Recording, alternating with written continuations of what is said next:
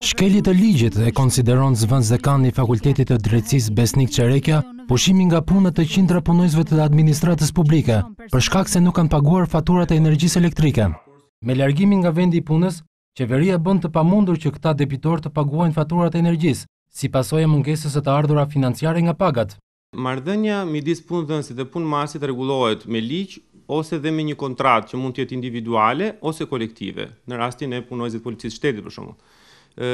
këto kontrata përcaktojnë në mënyrë të qartë se cilat veprime apo mosveprime të punonjësit të punëmarrësit përbëjnë shkelje dhe justifikojnë largimin nga detyra. Por ajo që duhet thënë është se Kodi i Punës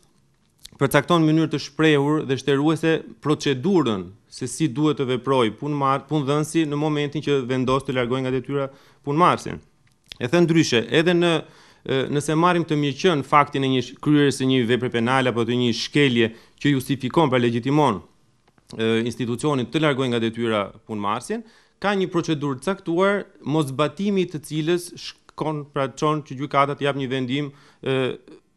të revokimit të urdhrit të lirimit dhe përcaktimin e një mase dëmshpërblimi në favor të punëmarrësit të larguar në mënyrë të padrejtë pa pa respektuar këtë procedurë të përcaktuar nga ligji. Pak ditë më parë Ministria e Drejtësisë largoi nga puna njëqind e tridhjetë e një policë burgjes, ndërsa operatori i shpërndarjes së energjisë elektrike pushoi dyqind e tridhjetë e katër punonjës debitorë. Në këto raste, të pushuarit nga puna të drejtën mund ta gjejnë vetëm në gjykatë, thotë Çerekja. Nëse vetë institucioni, pra titullari që ka vendosur largimin, nuk do të revokonte, pra do të ndërhynte mbi aktet e lëshuara vetë, atëherë brenda një afati kohor të caktuar këta subjekte do t'i drejtohen gjykatës për të vënë në vend të drejtën e cënuar.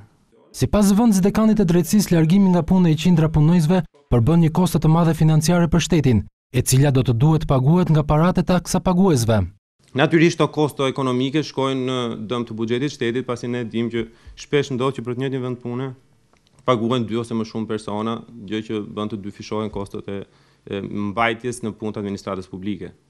Në lupën e institucioneve shtetërore janë të gjithë punonjësit e administratës, verifikimi i cili po kryhet pas një urdhri të vetë kryeministrit Rama.